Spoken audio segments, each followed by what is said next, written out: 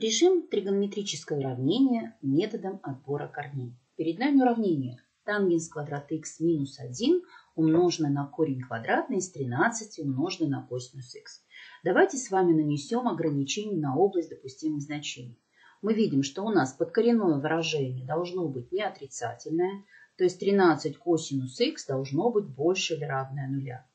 Но и так как у нас есть тангенс, а тангенс это синус, деленное на косинус, значит знаменатель косинус х не должен равняться нулю.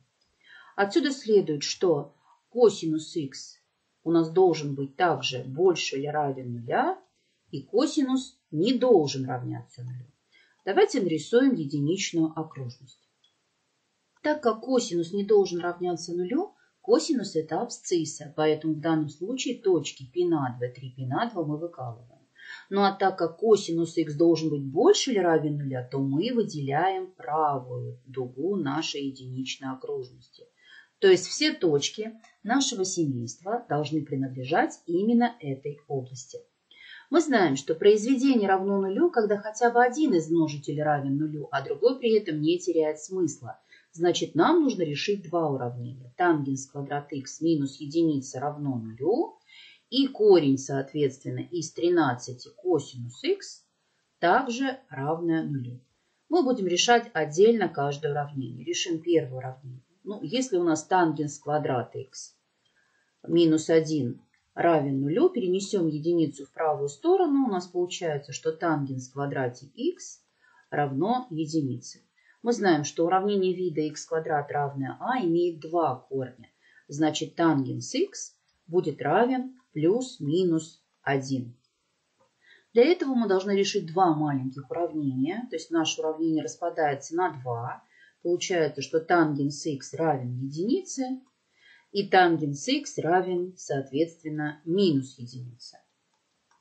Отсюда следует, что х равен арктангенс единицы, это π четвертых плюс πn, где n принадлежит z.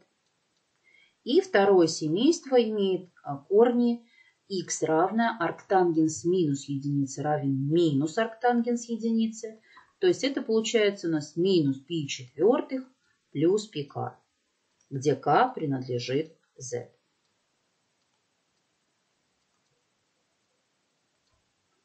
Следует отметить, что эти два семейства мы можем объединить в одно. И в итоге у нас получится x равен плюс-минус π четвертых плюс PL, где L принадлежит Z. Это решение нашего первого уравнения. Давайте решим второе уравнение. Наше второе уравнение – это корень из 13 косинус х равное нулю. Чтобы избавиться от корня, мы возведем в квадрат. У нас получается, что 13 косинус х тоже тогда будет равно нулю. Ну и поделим все на 13. 0 поделить на 13 это будет 0, значит косинус х равен нулю. Перед нами частный случай. На единичной окружности косинус это абсцисса, поэтому мы имеем семейство точек х равное π вторых плюс πm, где m принадлежит z результате, решая два уравнения, мы получили семейство. Первое семейство – это π четвертых плюс плюс-минус π четвертых плюс πl. И второе семейство – это π на 2 плюс pm. Ну а теперь осталось нам отобрать наши корни под область допустимых значений. Давайте точки красного семейства обозначим квадратиком. Что же у нас получится? Если у нас L равно нулю, у нас получается точка π четвертых и минус π четвертых мы видим, что эти квадратики принадлежат нашей штриховке. Ну а если у нас L будет равно единице, то мы должны к π четвертых прибавить π, и мы получим, соответственно, значение π плюс π четвертых. Это будет тогда точка наша 5 π четвертых. Мы видим, что данное значение не принадлежит нашей выделенной штриховке. И, соответственно, минус π четвертых плюс π мы можем записать это семейство как π минус π четвертых, то есть 3 π четвертых. То есть нашему красному семейству соответствуют четыре точки. Пи четвертых, три пи четвертых, пять пи четвертых, минус пи четвертых. Ну и, соответственно, здесь э, мы прибавляем наше значение пи. Но мы видим, что из этих четырех точек две точки не принадлежат нашей выделенной штриховке. В результате тогда получается, что мы должны отобрать наши корни. Отобрая наши корни, мы получаем только два наших квадратика, пи четвертых и соответственно, минус p четвертых.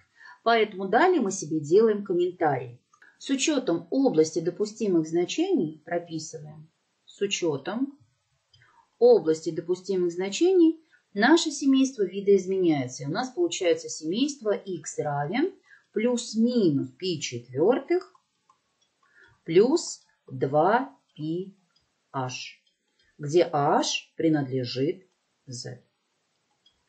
Проверим наше второе семейство. Во втором семействе у нас получилось, что x равен π вторых плюс πm. Мы видим, что точки нашего семейства, если я их обозначу кружочком, это как раз точки, которые совпадают со значениями. И вторых выделили красным, и 3 пи вторых. Но с учетом области допустимых значений эти точки у нас не могут быть включены, потому что изначально мы видим, что здесь дырочки. Поэтому мы смело можем сказать, что данное семейство нам не подходит под область допустимых значений прописываем это, не подходит под область допустимых значений. И в итоге наше уравнение имеет ответ. Записываем ответ. У нас получается всего лишь одно семейство. Плюс-минус π четвертых плюс 2πh, где h принадлежит z.